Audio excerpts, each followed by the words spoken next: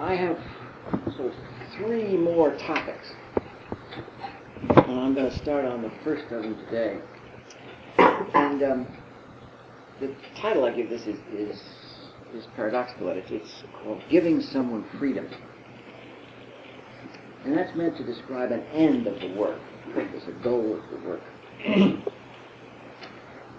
um, and so this talk, this talking today, hi, this talking today, and maybe next time too, I don't know, um, will direct it, direct itself at the goals of psychiatric work. Now, the reason I do this is that the ends of the goals of psychiatric work are just as disputed and conflicted as are the means, which we've been talking about, the methods. And, um,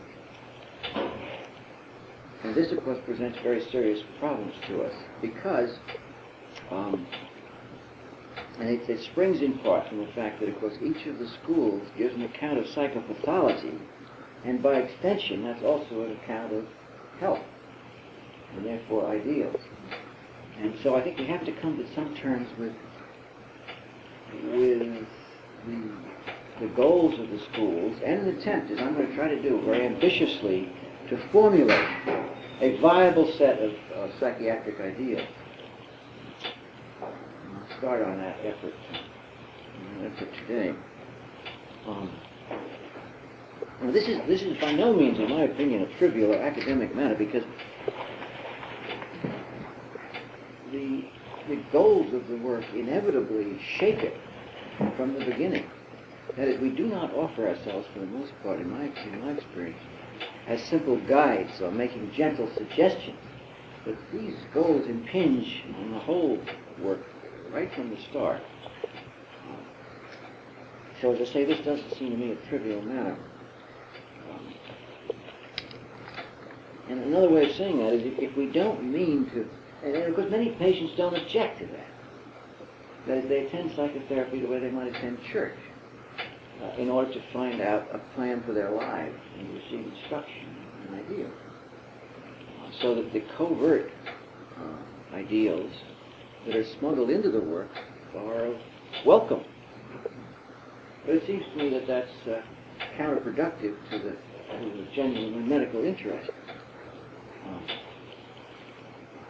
so if we, if we, in other words, if we mean to to have a psychotherapy which is neither religious nor legal in its basic impact, but instead consists of, of, of methods to assist people to find their own way, if you like.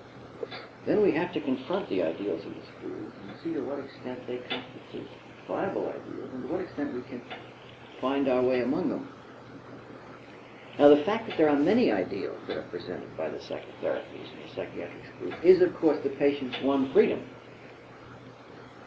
As the fact that you can pick the kind of thing you want in, in this sectarian situation we work in, is the, is the patient's principal free. Just ignore it, please. Is the, unless you have an emergency, um, uh, is the patient's principal freedom. We all know that's the case, that if you go to this one or that one, you'll get this or that. And people are known, of course, as Jungian or Freudian or behavioristic or whatever the, uh, the school affiliations are. And so you, you see there's something paradoxical in what I'm suggesting, and that is that, that if we are going to make inroads on the um, on sectarianism, at this, if insofar as we succeed in doing that, insofar as we succeed in making inroads on sectarianism, we then will diminish the patient's freedom. So we have to be very careful where we come out, if we do come out anywhere of interest, in this search for ideals.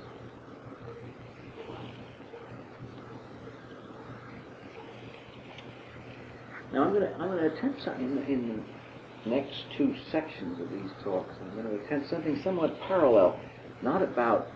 I will leave the subject to the ends of treatment, and I'll deal with the evaluation of psychiatric data. And as many of you have heard me say already, I will argue that that, that, that tenaciously difficult problem of judging what the significance of psychiatric data is has been handled by making very simplifying assumptions. For example, that the important data is intrapsychic, or the important data is biological, or the important data is social, whatever the school assumption.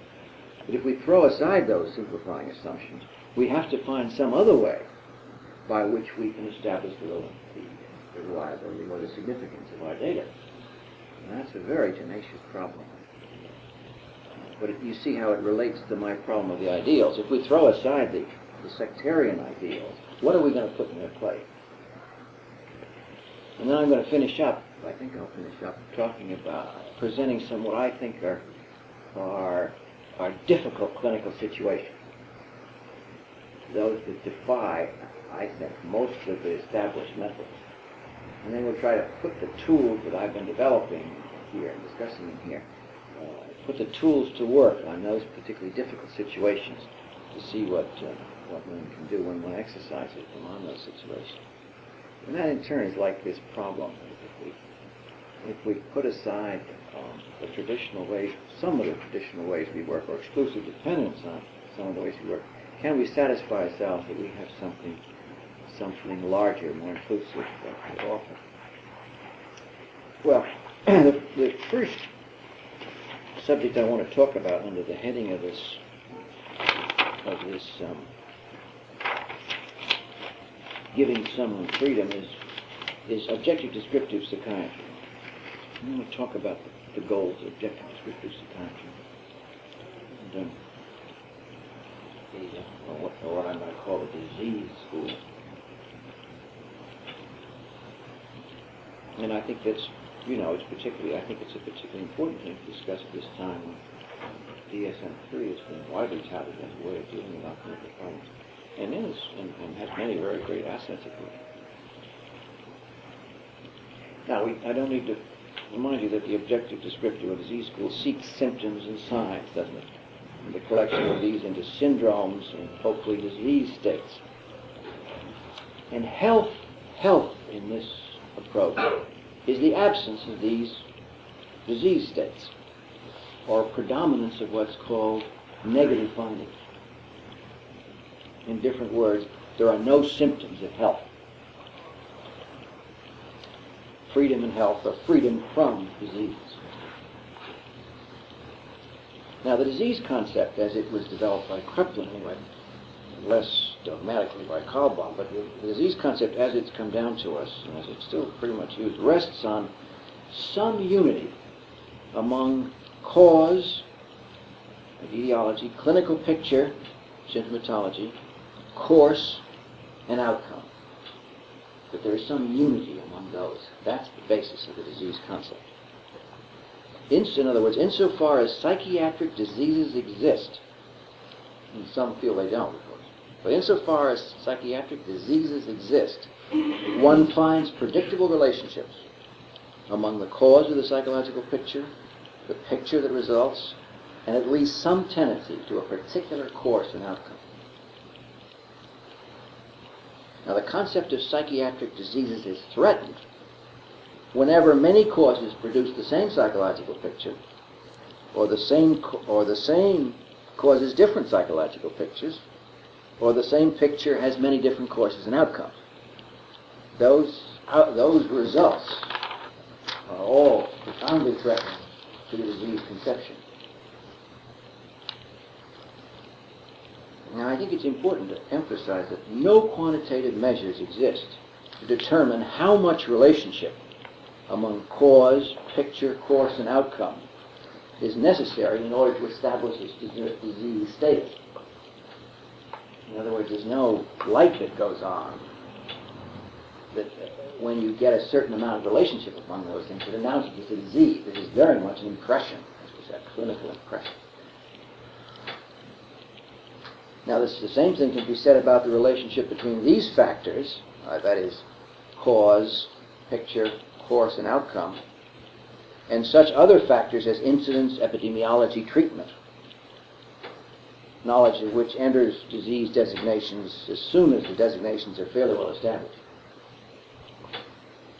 Now, because of the very low levels of predictability among the disease factors, I mean, especially low, for example, between cause, almost always only suspected psychiatry, hmm, and anything else of those factors.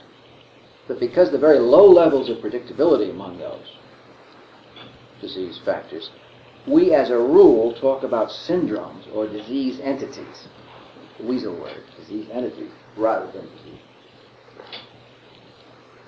All this is by way of saying, isn't it, that the foundations for the disease concept are very shaky.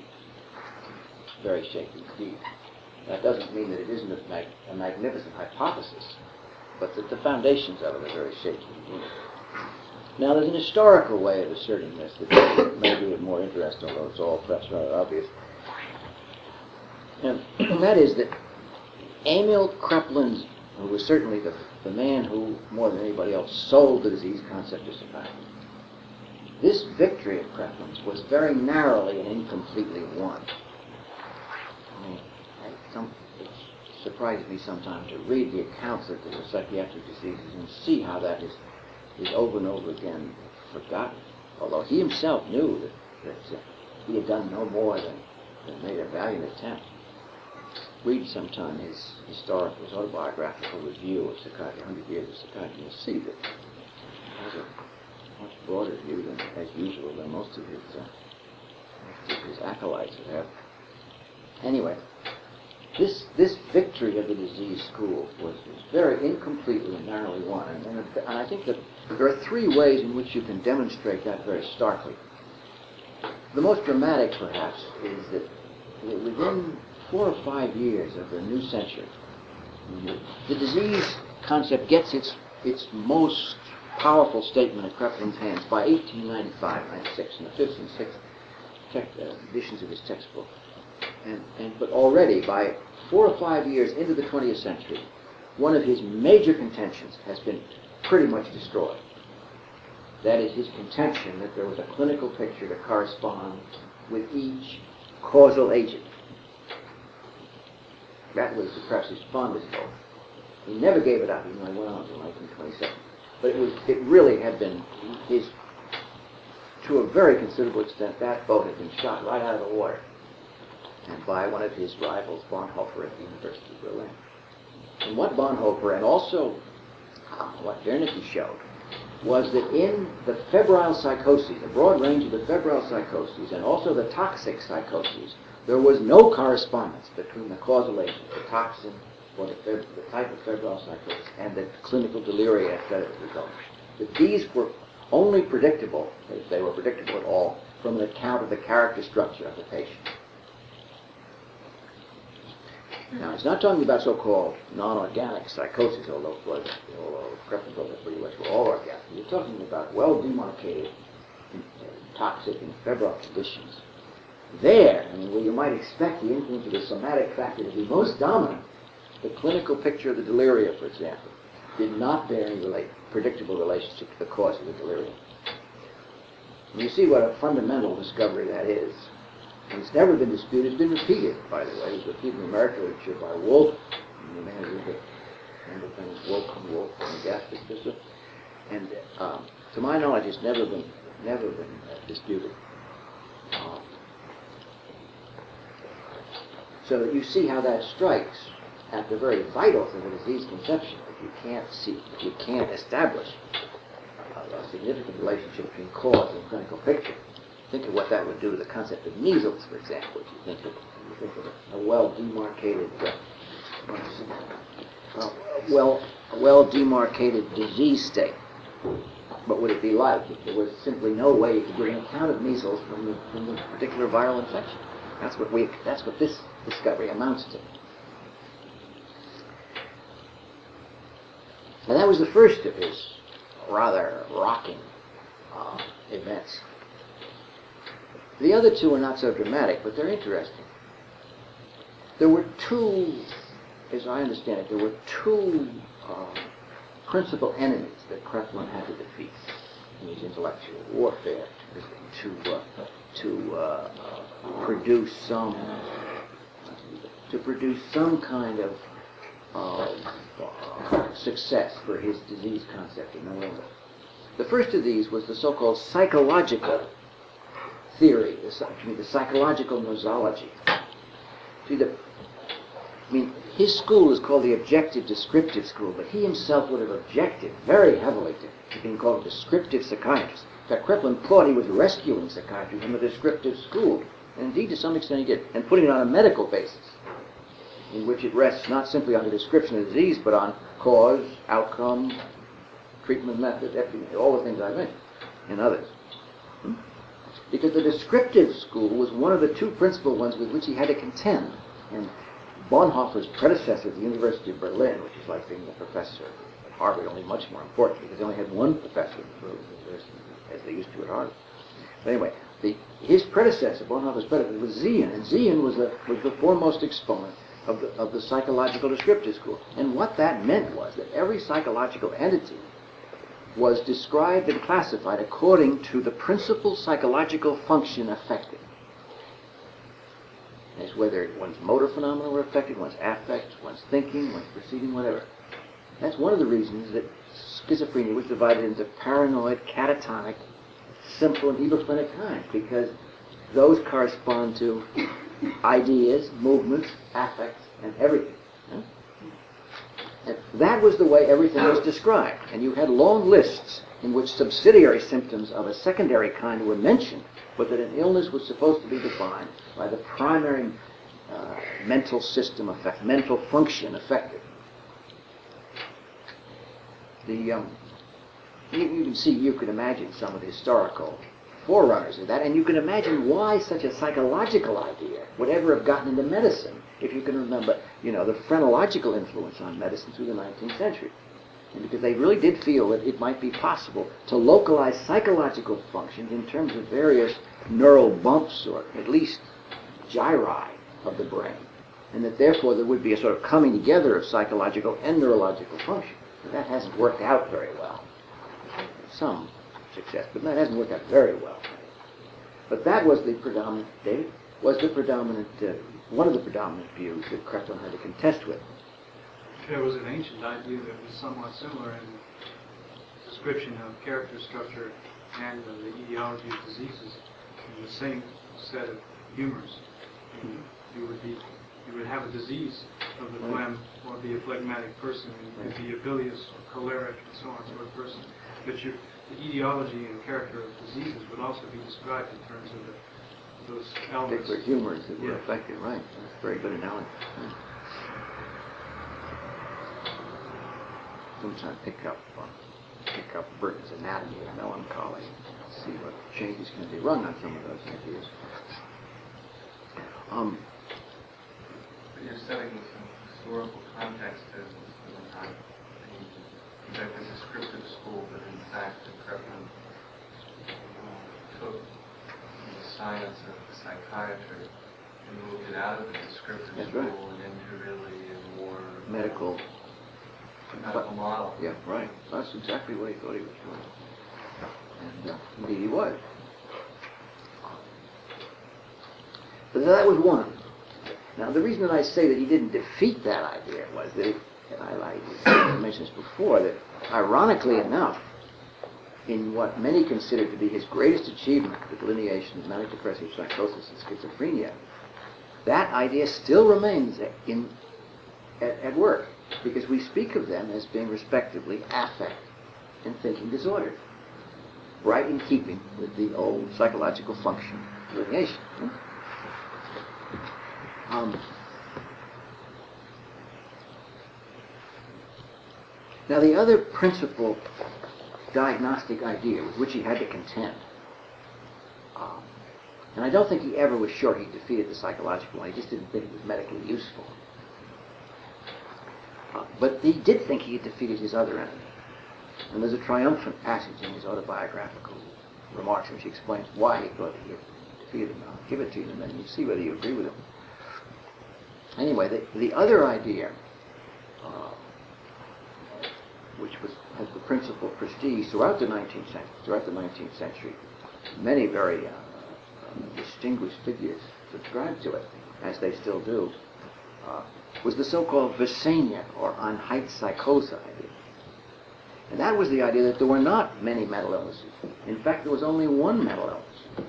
And everything you saw clinically simply depended upon what stage of that mental illness you caught the patient at. That's the Vesania or Einheitspsychose view.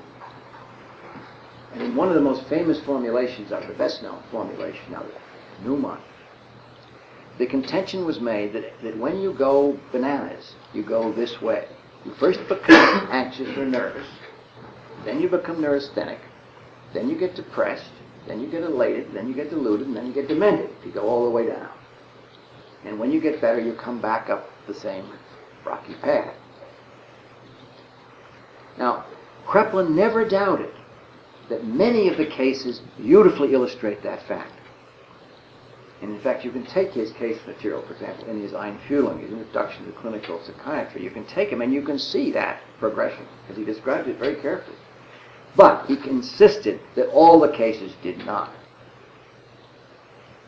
Now, Kahlbaum, who was a cannier number than uh, Kraepelin, in my opinion, always thought that that should, should make him say that maybe some of the cases do correspond to the disease concept and some correspond to the Vesania concept. But Kraepelin, like all these enormously powerful political figures, wanted a single explanation. So he stuck with the idea that the fact that some cases did not correspond to the Vesania idea was enough to defeat the whole Vesania idea.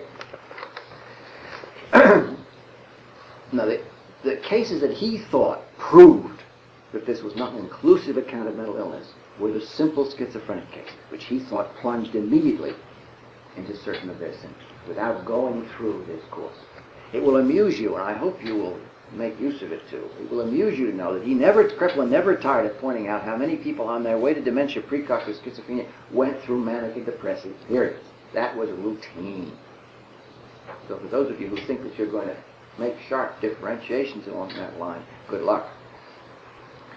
And whether, of course, you, you use the device that was, as a matter of fact, coined more or less in this room, not by me or my predecessor, but by somebody else back in the 20s, uh, the concept of schizoaffective psychosis is what I've called a terminological suture for that problem, whether you do that or keep in mind this Vesania concept. That's up, apparently still up, to, up for grabs.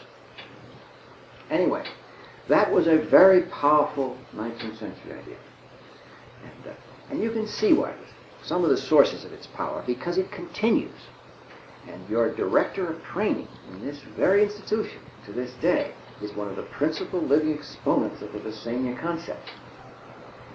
That is, in psychoanalysis, were the inheritors of the Vesania, were the inheritors of the Vesania concept. Because you remember, in psychoanalysis, diseases are seen developmentally. That is, the, in each of the principal diseases, Freud attempted to locate it on a developmental point. You know, hysteria is a reflection of Oedipal conflict. Uh, obsessional diseases are anal in origin. Schizophrenia is early oral in origin. Blah blah blah blah down the line. So here is the modern form of the concept. And how sick you get depends upon the level of your regression or fixation. How far down that path you have to travel. The um, now, if this the, the psychoanalytic form of the Vesania has taken two forms. One has been to, to talk about um, to talk about the uh, uh, uh, libidinal fixations and conflicts. The more modern form is the ego-psychological form, which George represents, George Bain represents, in which the levels are are marked by the ego defense devices most prominent. So if you fall all the way back into the schizophrenic soup or something, you find yourself dominated by projection, denial, distortion, etc., and as you go back up that line. So, in other words, the Vesania idea is by no means dead. It's very much alive. In fact, I gather if you go to Toronto in May 18th, whenever it is, on a Wednesday, you can hear a debate between, um, on the one hand, George Vaillant, the same name man, plus Robert Michels, another esteemed and brilliant man from Cornell, versus none other than, uh, than the innovator, the, than the propagator, that new Kraepelinian propagator of DSM-3, Robert Spitzer, who in turn has been is being I backed up. I think you better watch out. He may find himself undercut, but backed up supposedly by another alumnus of this estimable institution, Gerald Klerman, and that. Uh, I'm told, I haven't seen the program, but I'm told that Wednesday morning in Toronto, you can hear under the sponsorship of our neighbor, John DeMai, under the moderation, if you can moderate this one, uh, uh, you can hear George and Bob Michels contesting against Spitzer and Klerman over the issue of whether DSM-3, the disease school, disease concept is viable or not. So you see this goes on and on and on. Well, and I'm sure it will go on beyond Wednesday, May 18th, whenever. Well, I, I make these points because you remember my starting statement was that, that Kraepelin's victory for his disease concept was very narrowly, incompletely won. And I think those three points, the, the, uh, the, the lack of connection between causal agents and disease picture, the, the continuing presence of some of the psychological function ideas, and finally, perhaps most impressively, the continuation of the Vesania concept of disease right alongside of the, of the disease school all speak to those um, the restrictions on the credibility of the, of the disease concept. You may have mentioned this earlier, but what's the, what's the origin of and what- has a number of different meanings. It, I think, I'm not, I don't know as much about that as I should. It's, uh, it is often used to mean insanity, a synonym for insanity. There are some other terms that are involved in that, and I, can't speak Is this. a German word? I don't know what its origin is. It doesn't sound like it's The German word has generally been Einheit psychosa, which means one psychosis. I imagine it's a Latin.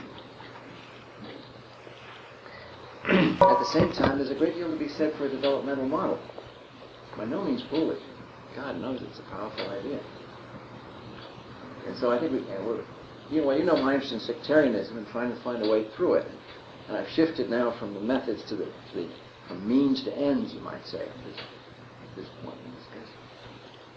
I also, of course, am very interested because the ends affect the means. That is, the, the kind of picture you have in mind, the way you work with people is enormously affected by your sort of presuppositions about where they should be. That is obvious, isn't it? Now, you know, I, you know, you who are not in treatment with your teachers, you know, ostensibly, uh, nevertheless feel a terrific pressure to conform to certain kinds of, uh, of behaviors on the basis of this embryological metaphor. Uh, there are things you must not show. I mean, take up, for example, the, the different disease categories and think of which makes you more nervous and which makes you less nervous. I mean, most people are, are rather pleased with the idea of being hysterical. They really are. And why? Because that constitutes the most adult form of pathology. By in this scheme, whether it truly is or not is a very questionable matter. Fortunately, our system is so flexible because we have primitive hysteria, oral hysteria, so we can always shuffle it around. But the fact is, it makes us very much better. And you know, if you if your supervisor suggests that something you did was hysterical, that's better than if it was obsessional. And why? Because the anal precedes the Oedipal in this great chain of being. And, and oh, that you should be found out to be seriously paranoid and therefore to be pre-anal and a little post something else. I need not, I need not remind you how, how, how we have all trembled at the possibility that these dark things might be within us. Mm-hmm. I, I'm going to contend also that, and I'm, I'm trying to tweak George's beard a little bit in some of this. And I'm going to suggest that, that there are places when denial and projection are absolutely necessary for human health. Well, I'll spell that out a little bit. They constitute some of the most useful devices that we have. Again, I'm contending that, that, that the ego, ego de- defense system isn't going to work for us very well either. Even though, again, it, it, it, a certain, it does a certain service.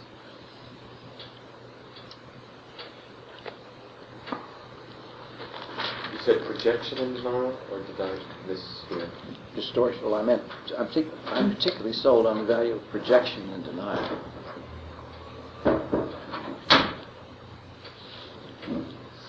I mean, I mean, the capacity to project yourself into something, for example, is one of the most foremost traits of, of grown-up human beings. That capacity to project Very close to very close. Read the literature on projective identification, which is so close to empathy, and see the terrible ambiguities that run through that idea as to whether it's good or bad enough. And the patient should be able to, the therapist should be able to do it, but the patient shouldn't. There's a funny kind of thing that goes on there. And as for denial, I mean, that's, that's I think, one of the larger jokes that's going to be played on us because it's uh, what you would do without that. We don't have to. Leave the country. Right. Simply, it, it may under, underpin the whole concept of psychic health. If you Look at it right. Then you get depressed. Well, you're just overwhelmed.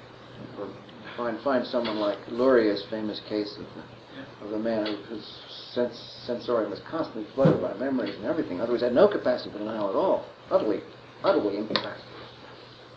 Couldn't do, didn't do anything. But, my- that's be hard to sort out because we know what the response will be. Well, massive denial is bad, or denial of some things is bad. Well, that's true. So, but how do we It's decide actually- which ones and how much? It's actually couched in the negative, as somebody's ability to concentrate. Mhm. It's not talking about their ability to deny. Yeah. To. That's a nice focus on the health and sickness side of it. right?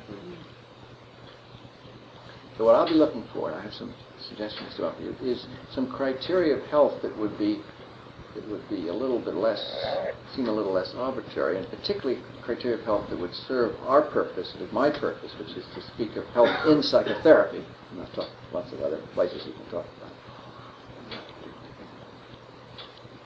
Try that next week. Try that next week.